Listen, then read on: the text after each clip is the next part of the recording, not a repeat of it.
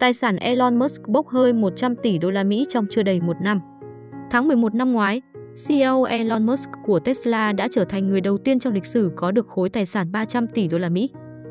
Kể từ đó rất nhiều sự kiện đã xảy ra. Elon Musk chuẩn bị mua lại Twitter sau nhiều tháng thương thảo thậm chí có thông tin sẽ tạm dừng thương vụ. Đối với nhân viên của nền tảng mạng xã hội này, Musk được cho là đang lên kế hoạch sa thải 75% nhân sự nếu thỏa thuận thành công. Ông cũng bị đồn thổi đã có một cặp song sinh với một trong những nhân viên của mình và có quan hệ tình cảm với Nicole Shanahan, vợ cũ của đồng sáng lập Google, Sergey Brin. Musk đã lên tiếng phủ nhận toàn bộ sự vụ. Tài sản của vị CEO Tesla cũng bốc hơi hơn 100 tỷ đô la Mỹ trong chưa đầy một năm, theo Forbes. Từ mức đỉnh điểm vào ngày 4 tháng 11 năm 2021, tài sản của ông chủ hãng Tesla đã giảm gần 35%, từ 320,3 tỷ đô la Mỹ xuống còn 209,4 tỷ đô la Mỹ tính đến cuối phiên giao dịch hôm 20 tháng 10.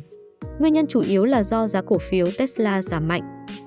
Chỉ tính riêng trong tháng này, Musk đã mất đi 28 tỷ đô la Mỹ.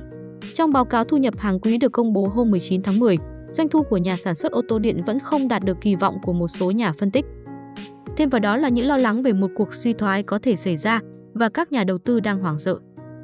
Matt Malley, giám đốc chiến lược thị trường tại Miller tại Bắc Co, cho biết trong một email, những chiếc xe được Musk bán với giá cao, vì vậy suy thoái kinh tế sẽ không có lợi cho công việc kinh doanh của ông ấy. Do phát điểm, Elon Musk đã rất giàu có và vẫn là người giàu nhất thế giới, ngay cả sau khi tài sản của ông tăng vọt. Ông giàu hơn 60 tỷ đô la Mỹ so với giám đốc LVMH, Bernard Arnault và giàu hơn 71 tỷ đô la Mỹ so với nhà sáng lập Amazon Jeff Bezos. Năm ngoái, Musk đã bán cổ phiếu Tesla trị giá 31 tỷ đô la Mỹ để có tài chính đảm bảo cho thương vụ mua lại Twitter. Vì thỏa thuận chưa được hoàn tất, Forbes đã tính giá trị tiền mặt thu được từ thương vụ này vào giá trị tài sản dòng của ông.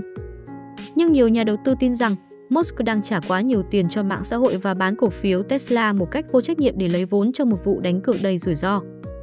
Nhà phân tích Jan Ip của Wedbush cho biết sẽ là vấn đề đối với các nhà đầu tư Tesla vì nhiều khả năng Musk sẽ còn bán cổ phiếu nhiều hơn để đầu tư cho thương vụ này. Những người khác lạc quan hơn về triển vọng của Tesla. Gareth Nelson, một nhà phân tích vốn chủ sở hữu tại CFRA Research, cho biết Tesla vẫn là một trong những câu chuyện tăng trưởng thu nhập mạnh nhất của thị trường trong chung và dài hạn do doanh số bán xe kỷ lục của hãng trong quý gần nhất.